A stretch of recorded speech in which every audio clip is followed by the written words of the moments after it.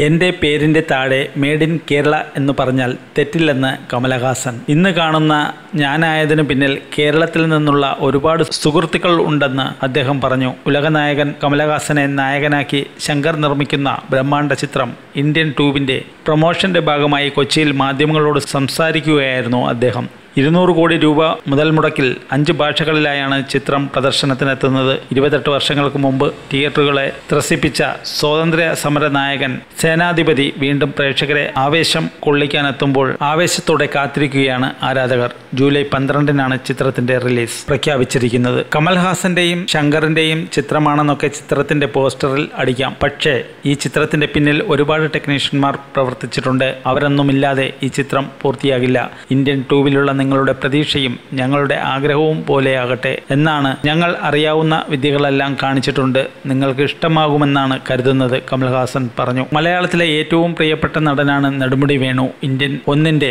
സമയത്തും ഞാൻ പറഞ്ഞ കാര്യമായിരുന്നു അത്. സിനിമയുടെ ആഘോഷത്തിനായി ഇവിടെ നിന്ന് കാണാമെന്നാണ് പറഞ്ഞത്. അദ്ദേഹം ഇവിടെ ഇല്ല എന്ന് എനിക്കറിയാം. പക്ഷേ ഞാൻ അദ്ദേഹത്തെ ഇവിടെ കാണുന്നുവെന്നും നെടുമുടി വേണുവിനെ ഓർത്തുകൊണ്ട് കമൽഹാസൻ പറഞ്ഞു.